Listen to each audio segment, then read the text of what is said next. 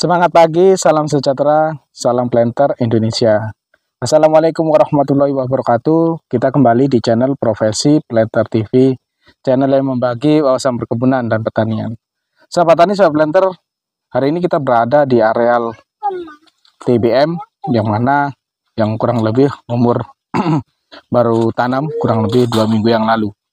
Nah, uh, di sini kami akan memaparkan berapa sih dosis yang dibutuhkan tanaman pada saat TBM sampai kurang lebih masa TBM adalah masa sampai 36 bulan ya. Artinya tanaman umur umur tanaman pada saat TBM itu adalah kurang lebih 24 bulan sampai 36 bulan. Itulah masa TBM ataupun dengan istilah kata lain adalah tanaman belum menghasilkan. Berapakah dosis-dosis yang dibutuhkan tanaman tersebut supaya tumbuh menjadi optimal dan istilahnya cepat subur dan cepat nantinya menghasilkan buah yang maksimal tentunya. Tapi sahabat dan sebelenter, sebelum kita lanjutkan pemaparannya, nggak ada salahnya sahabat dan sebelenter, subscribe channel ini dan tekan tombol loncengnya supaya bisa mengikuti informasi-informasi tentang dunia persawitan, dunia pertanian, dan informasi-informasi tentang wawasan-wawasan tentang perkebunan. Sahabat tani, sahabat lenter, kita tahu bahwasanya masa-masa TBM adalah masa yang rentan terhadap kekurangan unsur hara. Nah, unsur hara apa yang perlu dibutuhkan tanaman ketika masa TBM? Masa TBM adalah masa vegetatif, masa pertumbuhan, masa pertumbuhan batang, masa pertumbuhan daun tanaman. Nah, itu yang kita prioritaskan di sini. Pada masa awal-awal tanam dulu kita pemberian bersamaan dengan pupuk fosfat yaitu pupuk fosfat dengan menggunakan dosis 0,35 kilo pokok per pokok. Kemudian unsur fungsi daripada pupuk fosfat tadi berfungsi adalah untuk memperkuat perakaran tentunya. Ketika perakaran sudah kuat dan sudah menekan ke tanah ataupun ke istilahnya media tanah tersebut.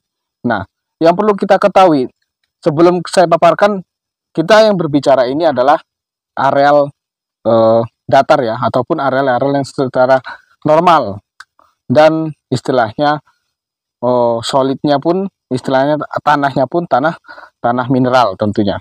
Nah, di dalam tanah mineral kebutuhan N adalah sangat-sangat dibutuhkan pada masa-masa TBM tentunya. Masa-masa TBM biasanya kita menggunakan pupuk yang berkandungan dengan nitrogen yang tinggi. Kenapa demikian? Karena masa-masa TBM adalah masa untuk pertumbuhan. Kita tahu sahabat tani sahabat planter pada masa-masa TBM, ini tanaman sawit ini adalah membutuhkan unsur-unsur nitrogen yang paling maksimal. Biasanya sebagai seorang planter, sebagai seorang petani sawit, masa-masa TBM kita bisa menggunakan pupuk nitrogen. Nah, sekarang masa TBM ini berapa sih dosis yang kita butuhkan untuk pemberian pupuk urea ataupun ZA? Ya, ini kita berbicara urea. Kenapa saya bicara urea? Karena kita berada di areal mineral. Areal mineral adalah menggunakan pupuk urea tentunya, sahabat tani seblenter. Nah, dosis yang dibutuhkan ketika kita tanaman yang kita tanam ini, ketika dia sudah umur kita mulai pernah kita mulai pemupukan lebih bagusnya kita sudah pada umur 2 bulan sahabat tani seblenter. Nah, ketentuan daripada pemberian urea pada masa-masa TBM pada masa-masa dua bulan itu adalah 500 sampai 750 gram per pokok sahabat tani seblenter ya. Nah, pemberiannya bagaimana? Pemberiannya kita tahu sahabat tani seblenter. Pajak di berada tanaman ini adalah kurang lebih dua jengkal daripada pokoknya. Nah, kita berikan secara melingkar sahabat tani seblenter. Itu kalau kita sudah berumur dua bulan sahabat tani seblenter yaitu 500 gram sampai dengan 750 gram per pokok. Ya, sahabat translator.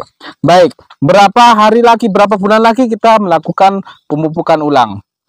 Kita lakukan pemupukan ulang sahabat translator, kita lakukan pemberiannya urea tersebut yaitu pada dua bulan ataupun tiga bulan setelahnya, yaitu kurang lebih umur lima bulan sahabat translator, 4 sampai 5 bulan.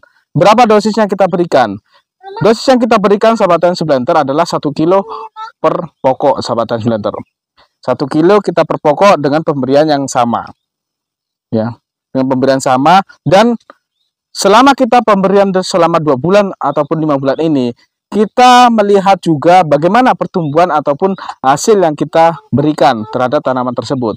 Kita tahu sahabat tani sahabat planter pada masa TBM, pada masa TBM tanaman sawit ini istilahnya kandungan urea ataupun kandungan unsur hara itu adalah reaksi cepat terhadap penyerapan oleh tanaman.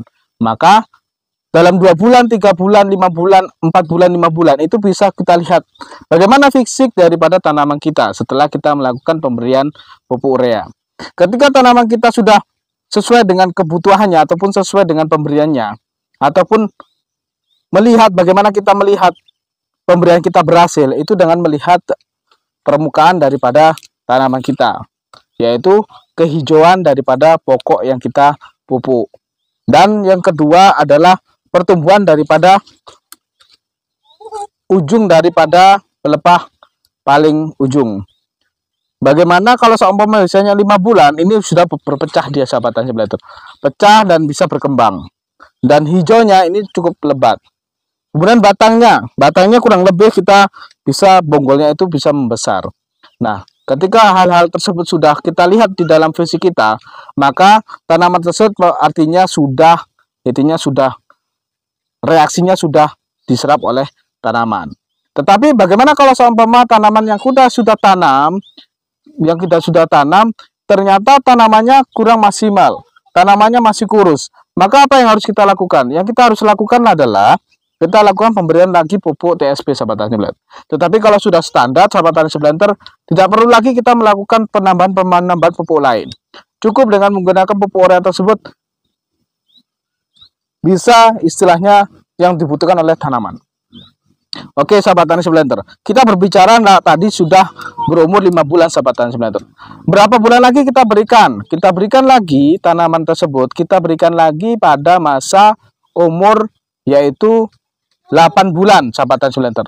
Ketika kita berikan umur 8 bulan, kita berikan berapa? Kita berikan hampir sama sahabat tani. 1 kilo sampai 1,2 kilo pokok per pokok sahabat tani seblender ya kemudian kita berikan lagi pada masa 12 bulan yaitu pada masa satu tahun pemberiannya berapa sama sahabat translator kita berikan dosisnya yaitu 1 kilo sampai 1,2 kilo pokok per pokok per pokok sahabat translator ya jadi bisa kita lihat selama satu tahun sahabat translator bagaimana kondisi tanaman kita? Ketika perkembangannya secara masih istilahnya masih toleransi atau masih standar tetap kita sampai dengan masa sampai dengan masa dua dua tahun sahabat tani Splinter dua tahun sampai ke tiga tahun ataupun ke 24 bulan dua tiga enam bulan kita masih bisa kita berikan pupuk urea. Dosisnya berapa? Nah di dalam umur 12 bulan lebih kita bisa berikan umur eh, per pokoknya 1,2 kilo ya selama berapa selama empat kali dalam setahun Nah, itu yang kita kunci. Kemudian bagaimana umur dengan setelah umur 24 bulan? Nah, ketika umur 24 bulan baru kita perubahan pupuknya sahabat transmigrator. Kita berikan pupuk yang lain. Yang penting yang saya paparkan ini adalah masa di mana masa TBM, masa pertumbuhan, masa vegetatif yaitu kemudian daripada urea. Oke sahabat tani planter mudah-mudahan bisa dipahami dan bisa bermanfaat bagi sahabat tani sahabat planter yang lainnya. Salam planter Indonesia.